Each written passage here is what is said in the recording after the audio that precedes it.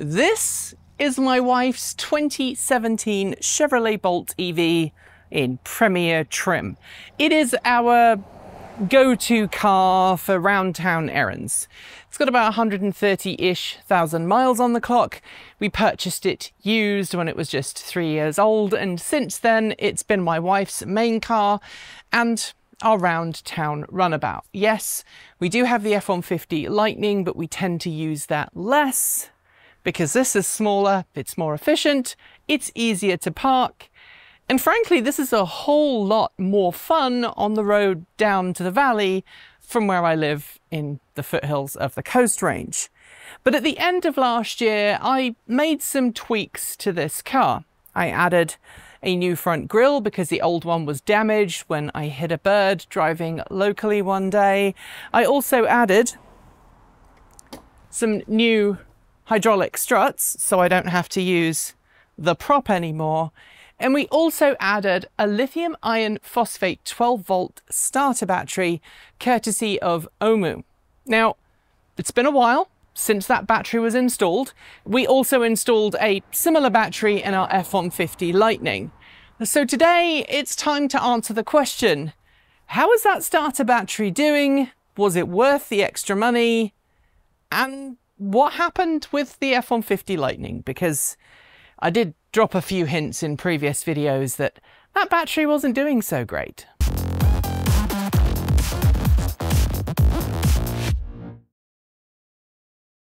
Ohmmu have been around for a number of years and they sent us not one, not two, but three batteries to test out in our various vehicles.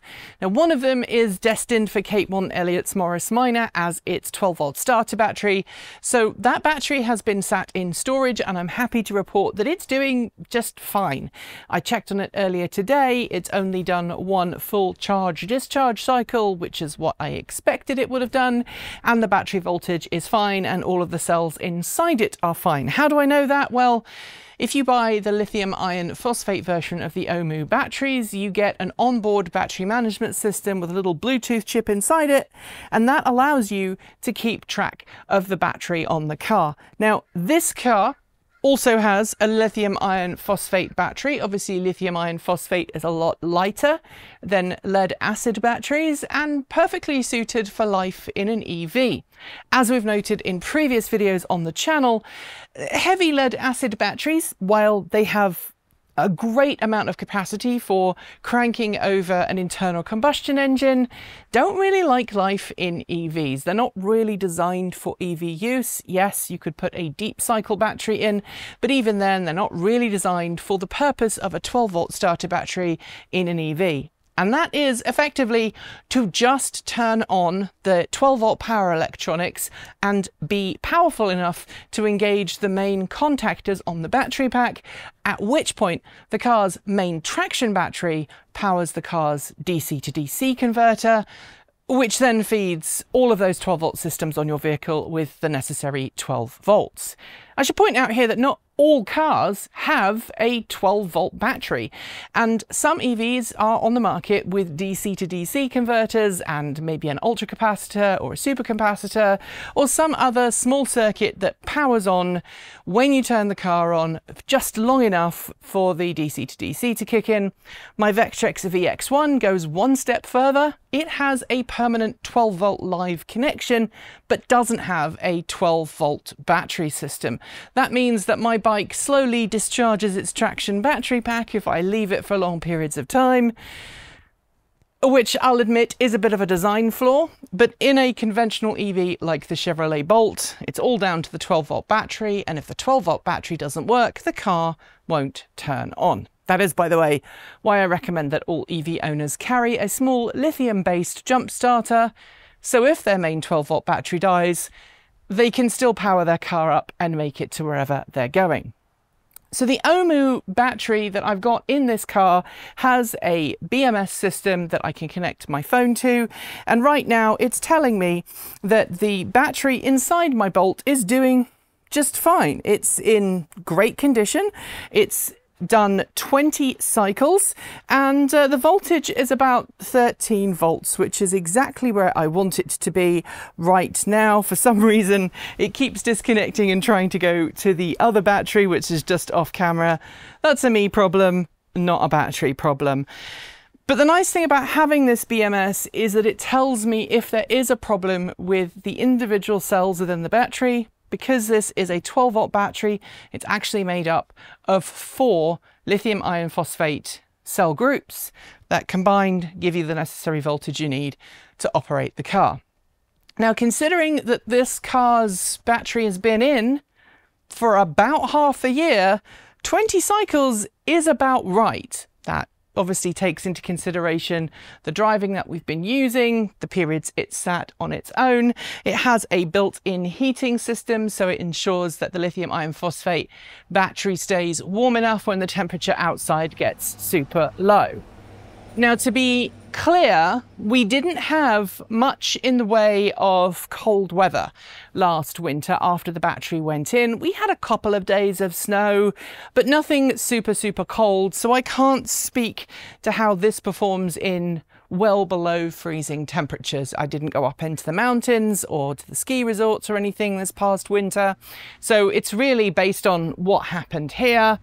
And the car behaved itself. I haven't had any issues with it starting up. It hasn't given me any low battery warnings. And just like every other Chevrolet Bolt, the only thing that I am frustrated about, other than the slow DC uh, fast charging capability, is the fact that if you leave this car parked for more than about four days, the car's onboard modem goes to sleep, which then means if you want to use OnStar to start, unlock, or access the car's systems in any way, you have to walk outside, physically unlock it, wake the car up by turning it on, and then you can use telematics again. But that seems to be a problem that it's not just Chevrolet, it seems to be a whole problem industry wide.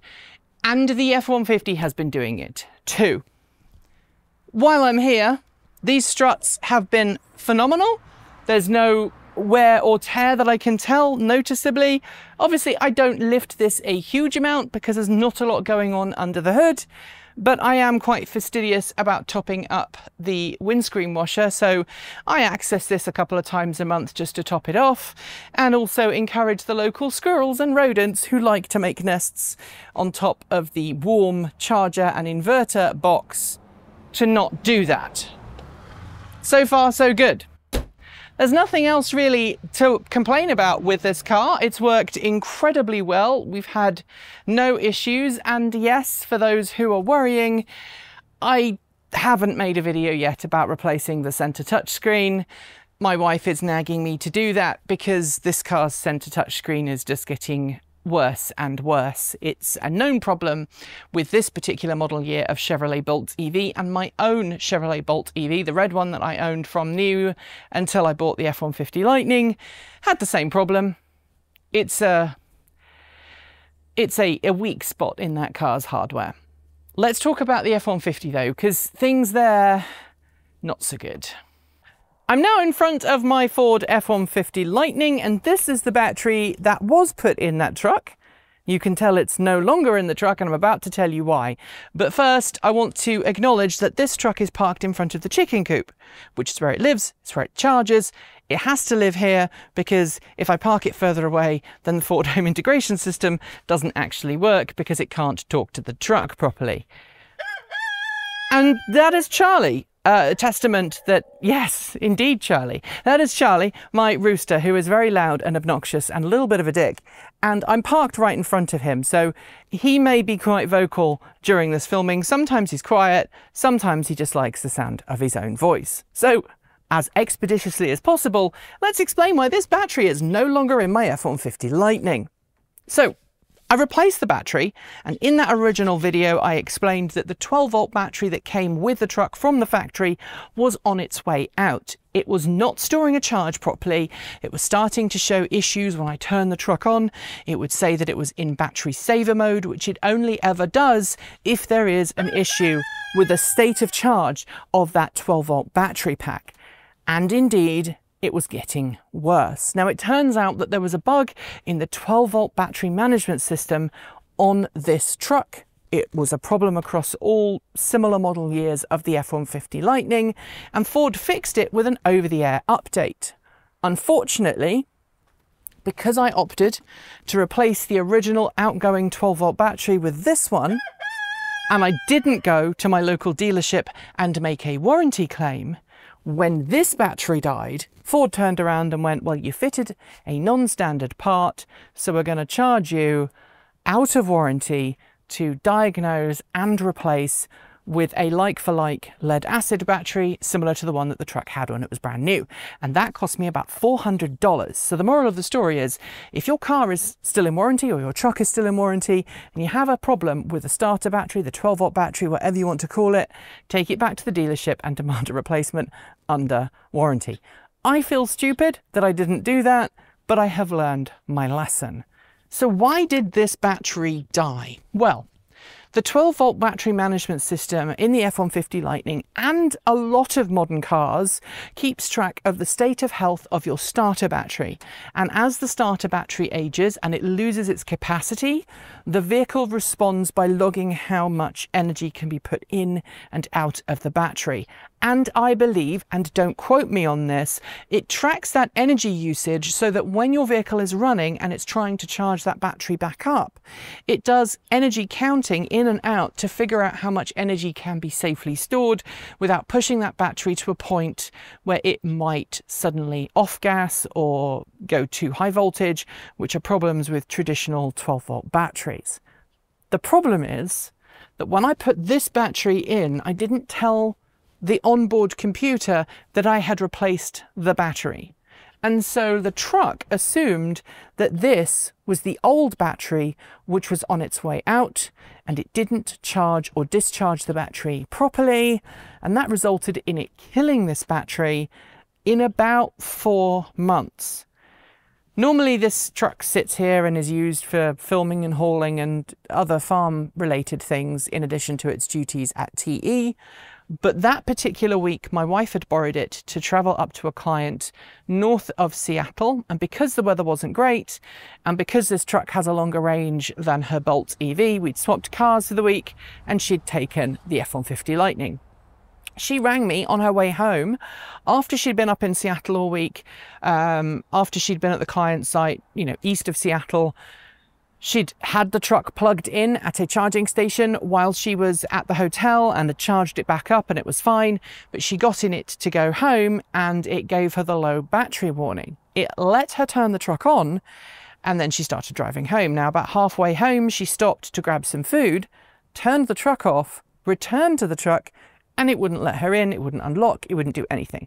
The 12 volt battery had become so low that it was dead. And because this is an F-150 Lightning as opposed to a Mustang Mark E, which has no physical keys, the F-150 Lightning still has a hidden uh, physical key that you can use to gain entry into the inside of the vehicle. And then to open this, it's normally electronically operated. If you go where the hood release mechanism would normally be in most vehicles, there is a little pull tab. If you pull that twice, it will unlatch this enough to let you lift it up. And because, as I mentioned earlier in the video, I am a real stickler for everyone carrying portable 12 volt jump cables and also um, a, a tyre pump, we were able, me on the phone and my wife in person, to connect up the jump starter and get the truck to turn on. And of course, when it was turned on, the 12 volt DC to DC converter from the main traction battery pack kept the truck happy until she got back here. She stopped it, turned it off, and of course, then it wouldn't turn back on, so we sent it off to the dealer. It turns out that this battery was so low a voltage that it was impossible to resurrect it. Um, I asked the dealership if I could keep this so we could make this video. I haven't had a chance to speak to Ohmmu about it yet, but I want to reiterate that it was my fault not Ohmmu's as far as I can tell. The other two Ohmmu batteries we have, the lithium iron phosphate ones, are doing just great. As I say, one is in storage and one is in the Bolt, and we've had no problems with that. But this one, I think, was damaged by the 12 volt battery management system in the truck. And I've spoken to other F 150 Lightning owners who've had premature 12 volt battery deaths. Now that that has been fixed with software, hopefully it won't be a problem further down the line, but it did mean that our review for this particular battery ended prematurely. After we got the battery back from the dealership, I did try connecting up a charger and the battery started to get very hot indeed, which tells me that internally the structure of this battery has, has met its maker and is no longer safe to be used. Obviously, being a sodium based battery, I can't just take this to a conventional battery recycling specialist. So I will be reaching out to Ohmmu and asking them if they want it back to do like a post mortem or if there are specific uh, disposal and recycling things that I can do to fix that. And of course, I will let you know in a future video what they say. So that's where the batteries are right now. It is unfortunate and frustrating that this battery died so quickly. I've also noticed a few strange quirks and features. Thank you very much, Charlie. Let me say that again. I've noticed a few strange quirks and features based on this truck's 12 volt system. And there have been a couple of occasions where I've got behind the wheel and the 12 volt battery has been in battery saver mode, which tells me that the 12 volt battery was again low. And I think what happened in those situations was that the truck had been on the charging station. I'd come outside, opened the truck up, turned it on to check for a download or to do something inside the vehicle without unplugging it. Then I'd got out of the truck, locked it up and walked away and the 12 volt battery had not properly gone back to sleep or the system had not properly gone back to sleep and had slowly drained the battery. I haven't been able to reproduce this enough to say whether this is uh, a long-term problem or not, but I have used the bug uh, submit fault feature that all Ford EVs have. If you press that, that center top touch part of the screen, it will allow you to submit a bug report. So I have submitted a bug report to Ford for that. But other than that, the new battery is doing well. It hasn't given me any issues. And as Charlie just said, carry a 12 volt starter. Thanks for joining us today, and if you've got thoughts, make sure you leave them in our Discord chat room, on our Patreon page down below, or you can reach out to us on Mastodon or Blue Sky. Thanks to the amazing list of people scrolling by on your screen right now. They're part of the massive community of supporters who make this channel possible, helping us through Patreon and YouTube, covering our bills, paying our team, and helping us to remain 100% independent. If you'd like to join them and see your name listed here, just follow the link links below. We've got options available across a wide range of different price points, starting from $1.50 US a month. A massive welcome to our newest supporters Roshilu, Lynn, Mogren, Yalafli, Abigail, Jason Hellman, Mike, Rastas, Jay, Jim Boyer, Trebor, Steffel HB, Calvin Klein, Albedardo Conessa, John Snyder, Scott Matheson, Mia Hartman, Philip Paul, Randolph Lee, Simon Cottel, Stephen Meadows, BGB Thauben, Kristen Ramison, James Holyroad, Robin Holston, MK Duffer, S.A. Gimpson, Chip Chandler, Jeff Harrop, Nye Mister, Robert Bettencourt, Jason Broder, Byron Newton, and Mark.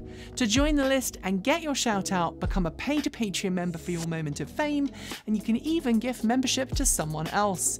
If you'd like to support us with a one off donation, you'll also find links below to make Ko-fi and Bitcoin donations, and we even have an old fashioned PO box you can reach us at for the time being, address listed below. You'll also find links to our swag store, and if you are someone who has to shop on Amazon, please consider using our affiliate link so we get the commission, not Jeff. Bezos. So we can continue to focus on making our content even better and reduce burnout. We're a little freer with our release days this year, but plan on dropping new content every Tuesday, Thursday, and Saturday on the main channel, plus something on Sunday over on Transport Evolved Take 2. If you want more, the algorithm that hates us thinks you should be watching this video, but this one is one we think you should check out. Be awesome, be kind, be intentional, and don't forget to resist. Keep evolving!